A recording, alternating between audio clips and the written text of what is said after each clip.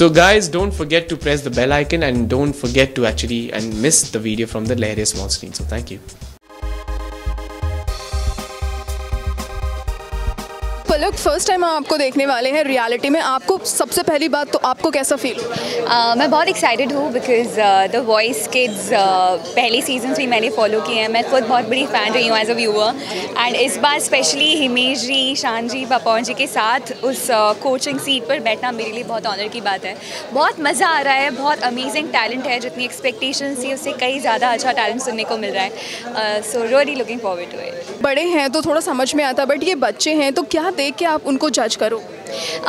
More than judging I think बच्चे हैं जैसे कि आपने कहा सो so, एंकरेजमेंट और मोटिवेशन की सबसे ज़्यादा ज़रूरत है। वॉइस uh, का फॉर्मेट ही ऐसा है कि कोई भी बच्चा डिसअपॉइंट होकर ना जाए।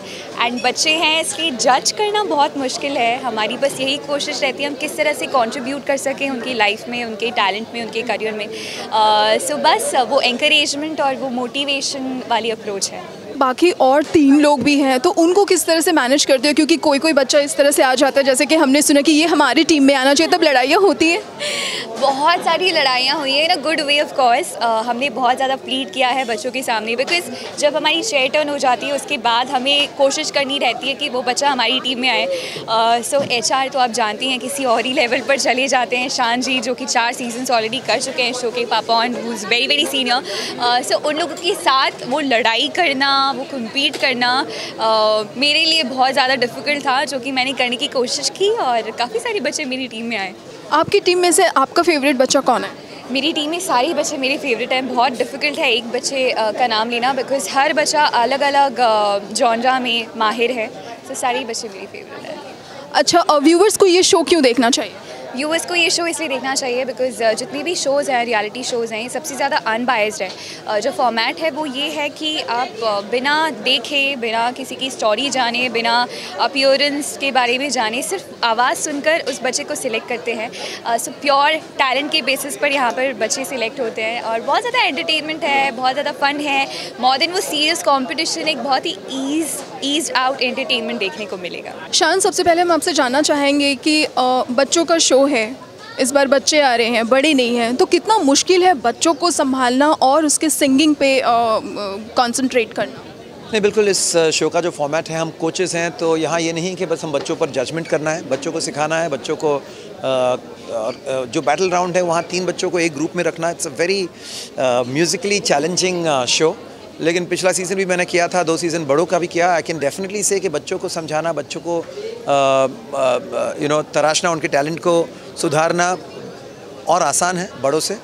बड़े काफ़ी हद तक एक ढांचे में ढल जाते हैं जब तक वो आपके पास आते हैं। लेकिन बच्चे बहुत ही they are open to you know trying different things तो बहुत मज़ा आता है और वाकई में बच्चों में टैलेंट चमत्कारी टैलेंट है। अच्छा जैसे कि हमने प्रेस कॉन में देखा कई सारे बच्चे आए हैं का, काफ़ी न्यू न्यू टैलेंट है किसी की वॉइस अलग है किसी में कुछ अलग टैलेंट है तो किस तरह से आप उनको जज करने वाले हो? क्योंकि सिर्फ़ सिंगिंग ही नहीं है और भी बाकी कुछ आप देख रहे हो तो वो क्या है?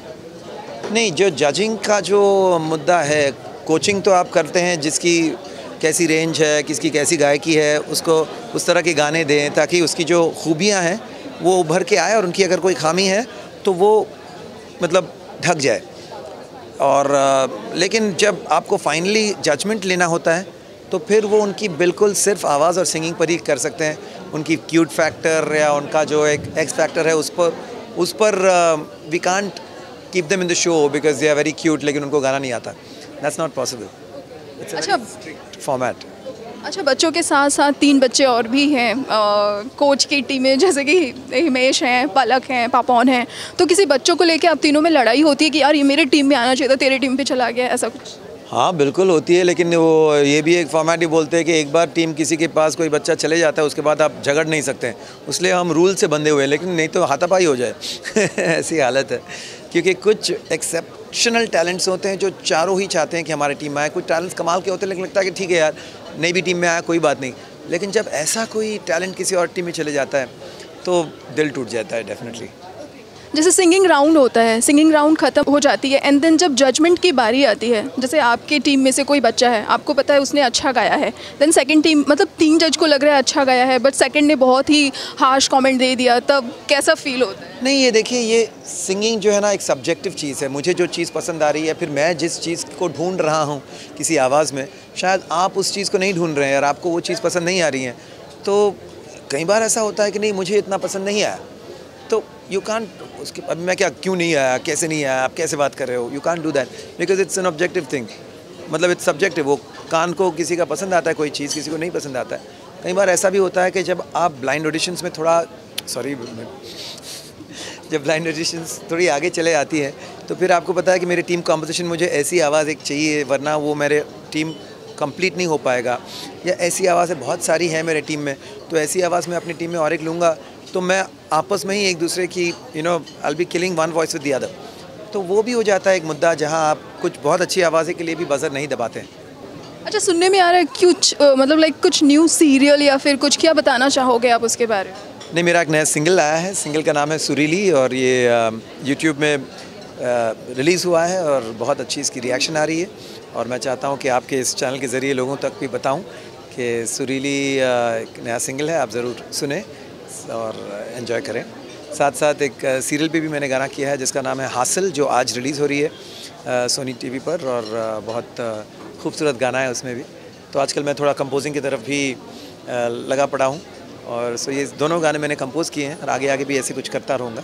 दैट्स अच्छा शान से हम देखते हैं कि जो बेसिकली सिंगर होते हैं, वो सिर्फ़ सिंगिंग पे ध्यान देते हैं बट इस बार का जो बिग बॉस है, ये काफ़ी लोगों के दिमाग पे छाया हुआ है आप देखते हो बिग बॉस हाँ लेकिन आई थिंक ये अलाउ नहीं करेंगे दूसरे जो साथ जो चल रहे हैं ना शोज़ उसके बारे में कुछ बोलना वो शायद इनके लिए प्रॉब्लम होगा कि हमारी timings Hi, this is Sana Khan, and I want to congratulate Lehere for completing 30 successful years.